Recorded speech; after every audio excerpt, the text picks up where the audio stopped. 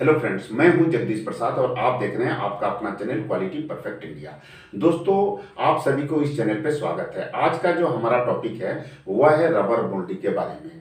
इसके पहले हमने प्लास्टिक मोल्डिंग के बारे में वीडियो बनाया जिसे आप लोगों ने बहुत पसंद किया। इसके लिए बहुत बहुत धन्यवाद। और नए व्यूवर से हमें रिक्वेस्ट है कि वह यदि अभी तक आपने वीडियो नहीं देखा है तो हमारा जो प्लास्टिक मोल्डिंग वाला वीडियो है, ज़रूर देखें। उससे आपको बहुत सारे जानकारी मिलेगी प्लास्टिक के बारे में। दोस्तों, जैसा कि आप जानते हैं कि आजकल कोई भी प्रोडक्ट बनाया जाता है, चाहे वह ऑटोमोटिव सेक्टर में कार हो या बाइक हो या मोटरसाइकिल हो, कोई भी हो, उसमें तीन तरह का पार्ट लगाए जाते हैं मेटल का लगाया जाता है प्लास्टिक का लगाया लगाया जाता है और रबड़ का लगाया जाता है। तो दोस्तों रबड़ का जो पार्ट लगाया जाता है वह कैसे बनाया जाता है, ये आपकी जानकारी के लिए मैं यह नया वीडियो लेके आया हूँ।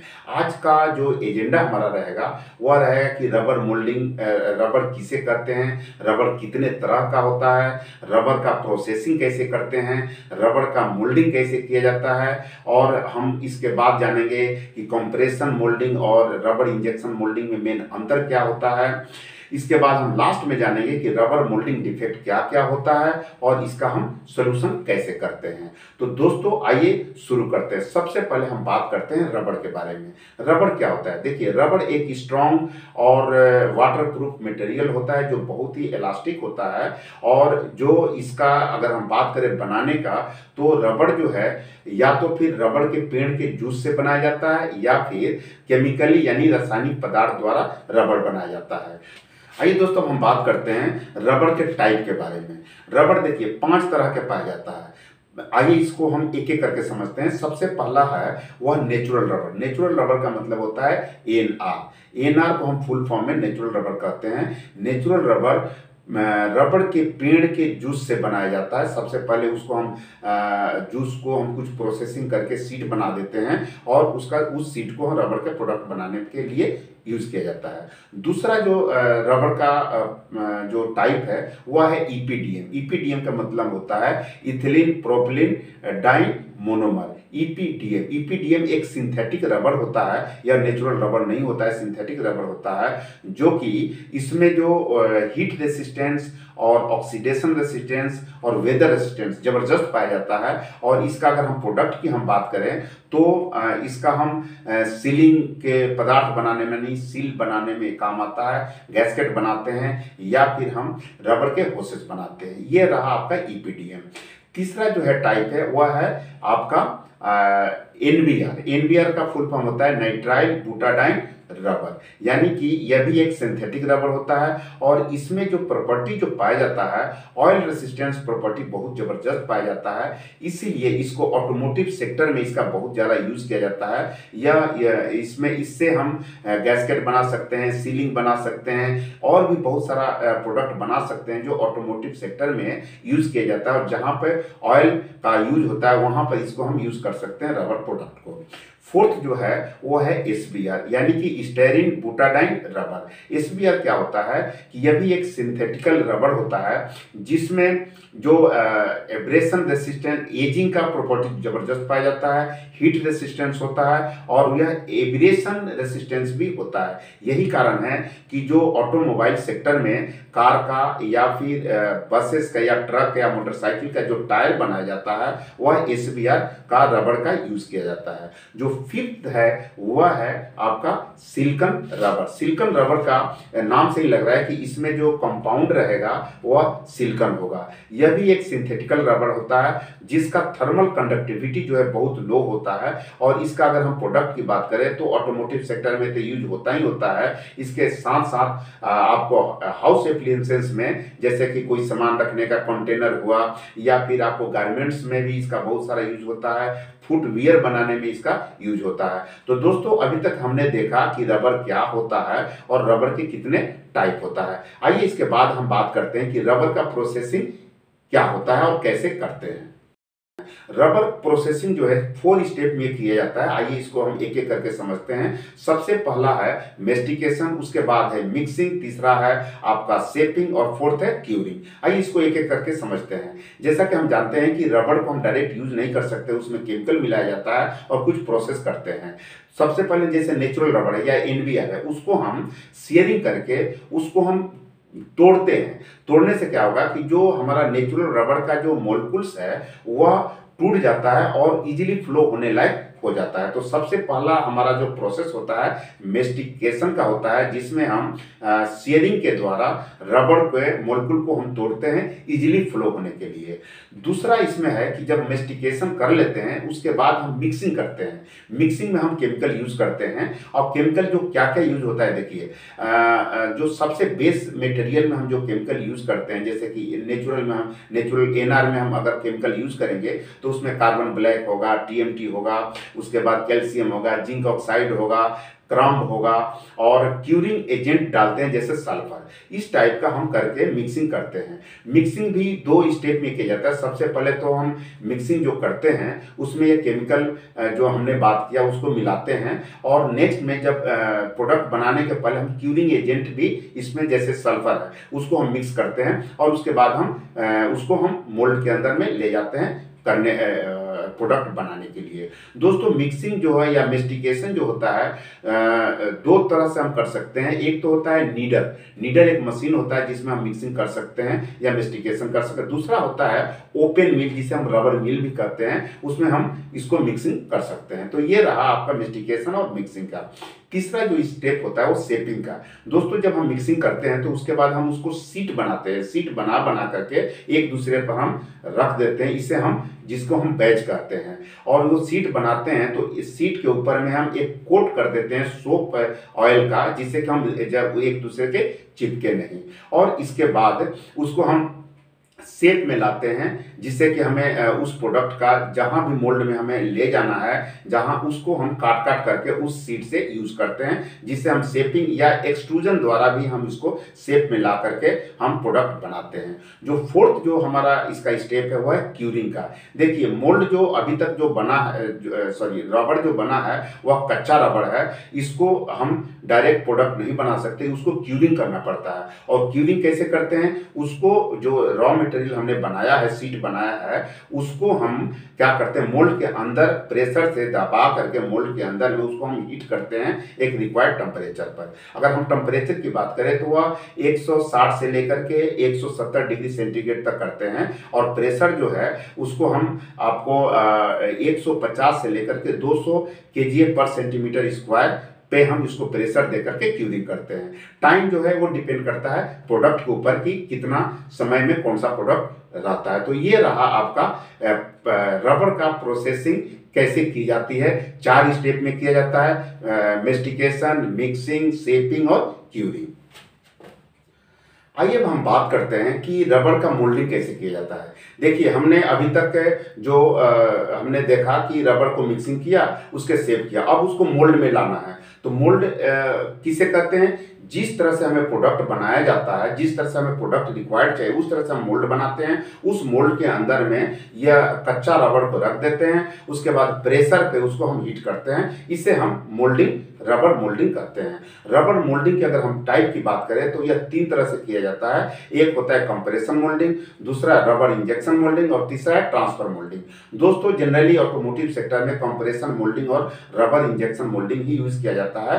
ट्रांसफ़र ट्रांसफ़र मोल्डिंग बहुत ही कम यूज़ किया जाता है। आइए इसको हम एक एक करके समझते हैं। सबसे पहले हम बात करते हैं कि कंप्रेशन मोल्डिंग किसे कहते हैं। देखिए, इसमें एक सिंपल मोल्डिंग प्रोसेस होता है, जिसमें हम जो सीट हमने बनाया है, उस सीट का रिक्वायर्ड क्वांटिटी में हम काट करके मोल्ड के अंदर रख देते हैं और उसके बाद उस प्रेशर पे, जैसा रिक्वायर्ड प्रेशर पे, इसको प्रेशर दे करके उस मोल्ड को हीट करते हैं क्यूरिंग करते हैं और उसके बाद उसमें से जो हम प्रोडक्ट निकलता है, वो सेप हमारा जिस, जैसा सेप चाहिए वैसा बन करके निकल जाता है। दूसरा चीज़ है rubber injection moulding. Rubber injection moulding में होता क्या है कि जिस तरह से हम प्लास्टिक मोल्डिंग में मोल्टेन मेटल को यानी कि जो सॉरी मटेरियल को, प्लास्टिक मटेरियल को हम पिघला करके बैरल के अंदर में, मोल्ड के अंदर इंजेक्ट करते हैं, उसी तरह से रबर में भी जो सीट बना है, उसको हम मोल्टेन स्टेज में ला करके, पिघला हुए स्टेज में ला करके मोल्ड के अंदर में इंजेक्ट करते हैं,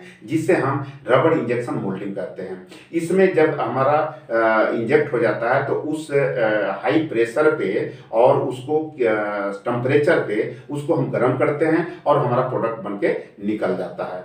तीसरा जो है ट्रांसफ़र मोल्डिंग या रबर इंजेक्शन मोल्डिंग की तरह ही होता है। इसमें रबड़ का जो है केविटी के अंदर तब डालते हैं जब हमारा जो मोल्ड जो है सिक्योर्ड हो जाता है। तो दोस्तों, यहाँ तक हमने देखा कि कितने तरह का रबर मोल्डिंग होता है तीन तरह का होता है compression moulding rubber injection moulding और ट्रांसफ़र मोल्डिंग आइए दोस्तों, अब हम बात करते हैं कि कंप्रेशन मोल्डिंग और रबर इंजेक्शन मोल्डिंग में मेन अंतर क्या होता है। सबसे पहले हम बात करते हैं साइज़ ऑफ़ प्रोडक्ट के लेकर के। साइज़ ऑफ़ प्रोडक्ट अगर हम बात करें तो बड़ा साइज़ का जो प्रोडक्ट अगर बनाना है तो हम हम उसको कंप्रेशन मोल्डिंग में कंप्रेशन मोल्डिंग में बनाते हैं। और अगर हमें छोटे छोटे पार्ट बनाना है तो हम इंजेक्शन रबर इंजेक्शन मोल्डिंग में बनाते हैं। दूसरा चीज़ है कि आपका प्रोडक्शन टाइम को लेकर के। यदि हम प्रोडक्शन टाइम की बात करें तो रबर इंजेक्शन मोल्डिंग में प्रोडक्शन का टाइम बहुत ही कम लगता है और मास प्रोडक्शन इसमें ज़्यादा निकलता है as compare to compression moulding तीसरा चीज़ है आपका कि आ, क्वांटिटी के बारे में। देखिए, जैसा कि हमने बात किया कि कंप्रेशन मोल्डिंग में जो है, वो सिंपल मोल्डिंग होता है, उसमें प्रोडक्शन नहीं निकल पाता है। अगर क्वांटिटी अगर हमें निकालना है तो हमें रबर इंजेक्शन मोल्डिंग को हमें फॉलो करना पड़ेगा। फोर्थ जो है क्वालिटी के बारे में। देखिए कंप्रेशन मोल्डिंग में जो क्वालिटी प्रोडक्ट निकलता है, वो उतना सही नहीं निकल पाता है एज कंपेयर टू आपका इंजेक्शन रबर इंजेक्शन मोल्डिंग में। यानी कि रबड़ इंजेक्शन मोल्डिंग में जो है, आपका क्वालिटी अच्छा मेंटेन कर सकते हैं, उसमें टॉलरेंस भी अच्छा से मेंटेन कर सकते हैं।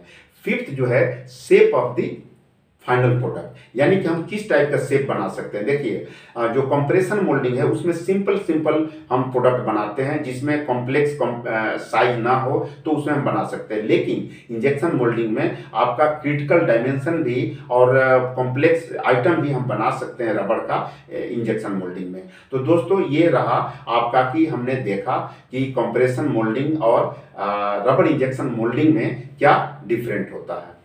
आइए दोस्तों, अब हम बात करते हैं कि मोल्डिंग डिफेक्ट क्या होता है रबर में। देखिए मोल्डिंग डिफेक्ट अगर हम मेन बात करें तो पाँच तरह का पाया जाता है। आइए इसको हम एक एक करके समझते हैं। सबसे पहला है शॉर्ट फील यानी इसे हम शॉर्ट शॉर्ट भी कहते हैं। इसका मतलब ये है कि जो हम प्रोडक्ट बना रहे हैं, वो पूरी तरह से नहीं बन पाता है।